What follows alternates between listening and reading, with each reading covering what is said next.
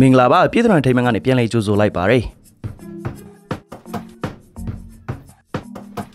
ဒီကနေ့မှာတော့လူအမျိုးမျိုးစိတ်အထွေထွေဆိုတဲ့အတိုင်းလူတွေရဲ့စိတ်ထဲကတစုံတစ်ယောက်ကသူတို့မကြိုက်တာတွေကိုသူတို့အပေါ်လှုပ်ဆောင်ကြတဲ့အခါမှာဘလို့ပုံစံနည်းနဲ့ပြန်လဲကလစားချေတယ်လဲဆိုတာကိုကျွန်တော်တို့အတူတူကြည့်ကြည့်ရအောင်ပါကဲအစင်းလေးဖြစ်ပြီဆိုရင်တော့စလိုက်ရအောင်ပါ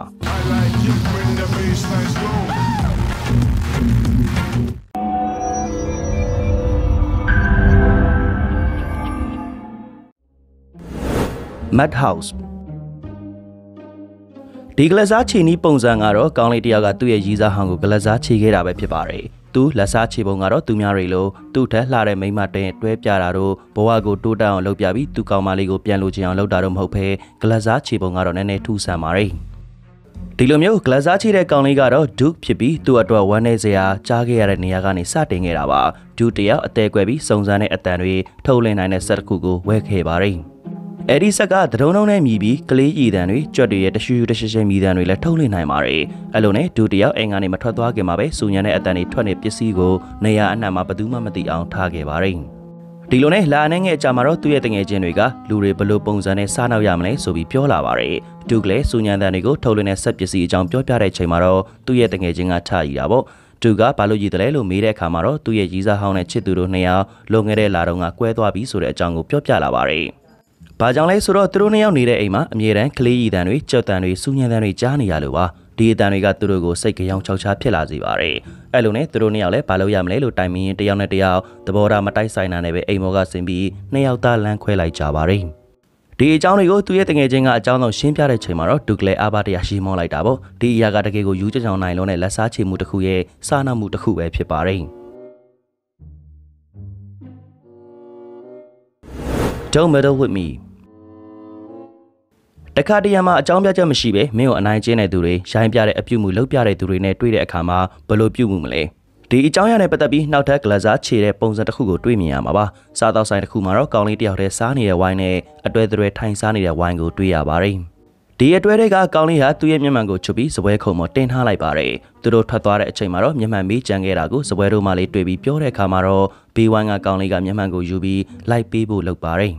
အဲ့ဒီကောင်လေးကကားကိုတွေ့လို့လှမ်းអော်တဲ့အခါမှာတော့ကားကောင်းထဲမှာထိုင်နေတဲ့ကောင်မလေးနှစ်ယောက်ကသူ့ကိုလှောင်ရင်ခဲ့ကြပါတယ်။အဲ့ဒီနောက်တော့ကားကိုတရကြံမောင်းထွက်သွားပြီးကားမှန်တဲ့ကနေကောင်လေးကိုလက်ကလေးထောက်ပြသွားခဲ့တာပေါ့။သူလည်းရုတ်တရက်ဆိုတော့ကြောင်ပြီးစိတ်တိုးသွားကမျက်မှန်ကိုအမိုက်ပုံးနဲ့လွှတ်ပစ်လိုက်ပါတယ်။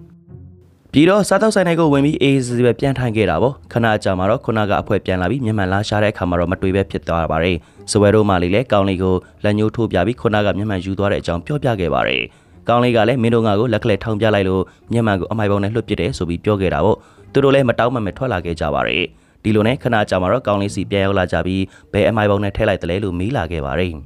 အဲ့ဒီချိန်ကောင်းလေးလှုပ်ပြလိုက်တာကတော့သူတို့အတိုင်းလက်ကလေးပြန်ထောင်ပြလိုက်ပြီးသူတို့မှားထားတဲ့အစားအသောက်တွေကိုဆက်ပြီးစားနေကြတာဖြစ်ပါတယ်တခါတလေမှာတော့ကိုကိုမထီမြင်မြင်ပြူတဲ့သူတွေကိုသူတို့လှုပ်တဲ့အတိုင်းပြန်လှုပ်ပြီးအစားအသောက်စားရတာဟာတကယ်ကိုချုံမင်လုံးအားကြီးပါတယ်ဆိုတာမိတ်ဆွေတို့သိပါသလား အိမ်ကြီးချင်းညဘက်မှာစူညံတန်တွေကြောင့်အဲ့ရကလန်နိုးပူပါသလားဒီစူညံတန်တွေကလည်းအိမ်ကြီးချင်းတွေစီကလာတဲ့အတန်းဆိုရင်တော့တင်ဘလို့နေပါမလဲအဲ့ဒီအထဲမှာတော့ဒီလိုမျိုးစူညံတန်တွေကြောင့်အေးအေးပြက်ပြီးဘလို့တွေပြန်ကလစားချေတယ်လဲဆိုတာကိုမြင်တွေ့ရမှာပါဒီအတွဲကတော့အပေါ်တက်ကစူညံတန်တွေလုံနေတဲ့သူတွေကိုထူးဆန်းတဲ့နီးလဲနဲ့ပြန်ပြီးကလစားချေခဲ့တာဖြစ်ပါတယ်။ဘာလို့နေတယ်လဲဆိုတာကြည့်ကြည့်ပါဦးဗျ။ ဘဲကြီးကသူ့ရဲ့စော်ကိုစောက်ထိုးချပြီးမျက်နှာချက်ပေါ်မှာလမ်းလျှောက်ခိုင်းခဲ့တာဖြစ်ပါတယ်။ပြီးတော့လေဒီလိုလုံနေတာဟာမနက်၄နာရီမှာပါ။တိတ်ကိုရည်စရာကောင်းပြီးထူးဆန်းတဲ့ဂလစားချေမှုလည်းဖြစ်ပါတယ်။နောက်တစ်ယောက်ကတော့ Marco Brian လို့ဖြစ်ပြီးသူလည်းဒီလိုကိစ္စမျိုးတွေကြုံတွေ့နေရတာပါ။စူညံတန်တွေလှုပ်တဲ့အိမ်ကြီးချင်းတွေကိုဘလို့ပုံစံသင်ခန်းစာပေးကြတဲ့ဆိုတာကတော့တချင်းတွေနဲ့ Bluetooth box တွေကိုချိတ်ဆက်ပြီးစူညံတန်တွေဖြစ်အောင်ပြန်ပြီးလုပ်ခဲ့တာဖြစ်ပါတယ်။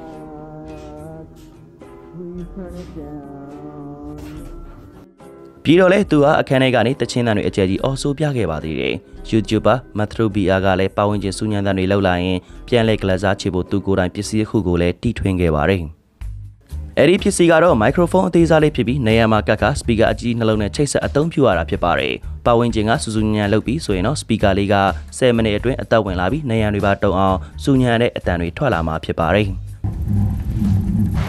။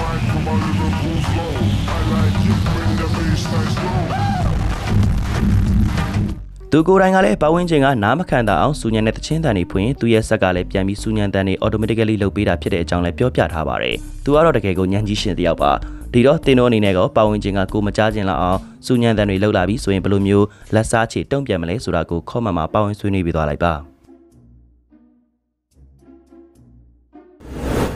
carrot ဒီတစ်ခုကတော့ကယ်လီဖိုးနီးယားပြည်နယ်မှာဖြစ်ပျက်သွားတဲ့အဖြစ်အပျက်လေးပါ။ကျောင်းသားတစုကပါဝင်ချင်းလူကြီးတိတ်နေတော့အိမ်ထဲမှာစူညံပြီးပါတီပွဲကျင်းမာကပျော်မြူအသက်ကုန်စူညံနေခဲ့ပါတယ်။ဒါပေမဲ့လည်းလူတိုင်းကတော့ဒီလိုမျိုးအခြေအနေတရက်ကိုလက်မခံကြပါဘူး။အဲ့ဒီထဲကမှဘူမီဗေဒပညာရှင်တယောက်ဖြစ်တဲ့မလီဆာလည်းအပါဝင်ဖြစ်ပါတယ်။သူမဟာအိမ်နာကတညာလုံးတချင်းတွေအတကုံဖွင့်ပြီးပါတီပွဲလှုပ်စူညံနေတာကိုသူမအနေနဲ့သဘောကျမနှစ်သက်ခဲ့ပါဘူး။အဲ့ဒီအတွက်ကြောင့်ပဲဒီလူတွေကိုပညာပေးဖို့အတွက်သူမအနေနဲ့အကြံထုတ်ခဲ့ပါတယ်။ ဒီတော့တင်းတို့အနေနဲ့ကမလီဇာတယောက်ကြောက်တုံးစတုံးနဲ့ဘာတွေဥကျင်အောင်လုပ်မလဲလို့ထင်ကောင်းထင်နိုင်ပါတယ်မလီဇာကတော့မနက်9နာရီခွဲမှာကြောက်ထွင်းဆက်ကင်ပြီးအပြင်ကိုထွက်လာခဲ့တာပေါ့ကြောက်တုံးစီကနေစူညံတဲ့အတန်တွေထွက်စီနေတာပဲဖြစ်ပါတယ်တညာလုံးမဲရသေးတဲ့ចောင်းသားတွေကတော့အဲ့ဒီအချိန်မှာအမှုလိုမီအရန်ကိုအိမ်မောကြနေပါပြီအဲ့ဒီအချိန်မှာပဲမလီစာတယောက်နှစ်ချက်တက်ပြီးကြောက်တုံးကိုအစိမ့်စိမ့်မော်ဝကြည့်အောင်စားပြီးလုပ်ပါတယ်။ကြောက်ထွင်းနေတဲ့အချိန်မှာတော့တရက်ကွက်လုံးကြာအောင်စူညံတန်တွေထွက်ခဲ့တာပေါ့။အမူးလုံးပြီးအိတ်နေတဲ့ចောင်းသားတွေကလည်းသူမရဲ့ကြောက်ထွင်းစကြောက်ကောက်ကောက်အိမ်မရဖြစ်သွားခဲ့ရပါတယ်။ နောက်ဆုံးမှာတော့သူမလည်းအလွတ်လုပ်ပြီးဖြစ်ပြီးကြောက်တုံးတွေလည်းတစားစီကြီးမွားသွားခဲ့ပါပြီကဲဒီတော့ပြိတ္တတို့လည်းစူးစူးညံညံလုပ်ချင်နေဆိုရင်တော့မလီစာရှိတဲ့နေရာမှာသွားမလုပ်ချပါနဲ့ဗျာအခက်မသိရင်ကြောက်တုံးကိုခြေသလိုလူတွေပါအခြေခံရကိန်းပေါက်နိုင်ပါတယ်လူလိမ်များ ကံမကောင်းစွာနဲ့ပဲကျွန်တော်တို့နေထိုင်တဲ့ကမ္ဘာပေါ်မှာလူလိမ်လူညာတွေအများကြီးရှိပါတယ်။တချို့တွေကလည်းသူတို့စီကိုဆက်ဆက်မြဲမြဲရောက်လာကြတဲ့လူလိမ်လူညာတွေလက်ထဲအလဲပတ်ခံပြီးအလိမ်ညာခံရတာတွေလည်းရှိပါတယ်။လူလိမ်လူညာတွေတော်တော်များများကတော့အပြောကိုတကားရီလောင်းထားသလိုတော်တော်လေးလည်းအပြောချိုကြတဲ့သူတွေပါ။အဲ့ဒီထဲကမှတော့ဒီဇိုင်းအသစ်နဲ့အလိမ်ခံရတဲ့ပုံစံကိုတွေ့ရမှာပါ။ဒီနေ့မှာတော့အမျိုးသမီးတစ်ယောက်ဟာကားပြုပြင်ဆန္ဒမှာသူ့ရဲ့ကားကိုပြုပြင်မှုသွားအပ်ခဲ့ပါတယ်။ခဏကြာမှာတော့စက်ပြင်ဆရာကရုပ်တည်ကြီးနဲ့လာပြီးသူမရဲ့ကားဟာစက္ကန့်ပိုင်းအတွင်းပောက်ကွဲနိုင်တယ်လို့ပြောခဲ့တာပေါ့။ အဲဒီနောက်မှာတော့သူမကရဲ့ L filter ထဲမှာအငြိကြီးတွေပိုးကောင်တွေပိတ်နေတယ်ဆိုပြီးလဲအချက်လက်ပြကပြောလိုက်ပါတယ်။ဒါပေမဲ့သူမကတော့သူမကရဲ့ L filter ကိုမနေ့ကမှလဲထားတာကြောင့်သူမကကောင်းမှန်းသိနေခဲ့ပါတယ်။ဒီတော့စပြင်းသမားကလည်းကောင်းနေတဲ့ဟာတွေကိုပြက်စီအောင်အကြံဖတ်ထုတ်ခဲ့တာပေါ့။ရုတ်တရက်သူမစီကအကြံတစ်ခုရသွားပြီးစပြင်းသမားကိုအပြင်ခေါ်ထုတ်ကဇလန်တစ်ခုဆင်းမာတော့တယ်။ သူမကသူမရဲ့ကားနဲ့ပတ်သက်ပြီးဘာမှမသိတဲ့ပုံစံဖန်ပြီးစိတ်ညစ်နေခဲ့ပါတယ်။အဲဒီနောက်မှာတော့သူ့ရဲ့ဖေးစက်ပြင်သမားကိုဖုန်းခေါ်ပြီးတားဖားနှစ်ယောက်အလိန်စက်ပြင်သမားတွေကိုပညာပေးဖို့လုပ်ခဲ့ပါတယ်။ကားပြုပြင်ဆိုင်မှာရှိတဲ့သူတွေကလည်းသူမနဲ့စက်ပြင်သမားကိုကြည်နေခဲ့တာပေါ့။သူမကတော့ငိုယိုပြီးကားပြင်တာပတ်စံအများကြီးကုန်တော့မယ်အကြောင်းပြောနေခဲ့ပါတယ်။စက်ပြင်သမားကတော့သူ့အကွက်ထဲရောက်လာပြီးဆိုပြီးကျင်းနေနေခဲ့တာပေါ့။အဲ့ဒီအချိန်မှာပဲသူမဟာရုတ်တရက်ပုံစံပြောင်းလဲသွားပြီးတဟီတဟာထားပြီးကြည်ပါတယ်။ကျင်းတဲ့စက်ပြင်သမားကလည်းရုတ်တရက်ကြောင်းသွားခဲ့တာပေါ့။ အဲ့ဒီနောက်ရုတ်တရက်သူမကလည်းစပီကာဖွင့်လိုက်ပြီးသူမအဖေဟာလည်းကြက်ကြက်လောင်လောင်ရီးမောခဲ့ပါတယ်။အဲ့ဒီနောက်တော့သူမဟာတခြားကားပြင်လာတဲ့သူတွေပါသိအောင်သူမအနေနဲ့မနေ့ကမှ L filter ကိုအသစ်လဲထားတဲ့အကြောင်းဖြစ်တဲ့အကြောင်းပြောပြလိုက်ပါတယ်။နောက်တော့ဆက်စီယာကိုလက်ညှိုးထိုးပြီးသူ့ရဲ့ညစ်ပတ်တဲ့အကြံကိုဖျက်ခါသူမကရဲ့ L filter ကိုပြန်ပြီးတန့်ရှင်းပေးဖို့အကြောင်းလည်းပြောပြလာပါတယ်။အဲ့ဒီအချိန်ကမှကားလာပြင်းတဲ့သူတွေကလည်းအကြောင်းဆုံးတီးပြီးရီးမောခဲ့ကြတာပေါ့။ ဒီတော့ဆက်စရာကလည်းအားလုံးရှိမှသူ့ရဲ့အလိန်တွေပေါ်လာတာကြောင့်အဆက်ကွဲပြီးထွက်သွားခဲ့ရပါတယ်။ဘာမှပြန်မပြောတော့ပဲ Elfita ကိုကောင်းအောင်လုပ်ပြီးတေချာပြန်တက်ပေးခဲ့တာပေါ့။သူမှလည်းသူ့ရဲ့ကအကောင့်လေးကိုစီးပြီးပြန်လဲထွက်သွားခဲ့ပါတယ်။ဟုတ်ကဲ့ပါဒီဗီဒီယိုလေးကိုကြည့်နေတဲ့သူတွေလည်းလောကမှာလူလိမ်လူညာတွေအများကြီးရှိတယ်ဆိုတာကိုသဘောပေါက်နားလည်ပြီးဘာပဲလုပ်လို့သတိနဲ့လုပ်ဖို့အတွက်အကြံပေးလိုက်ပါတယ်။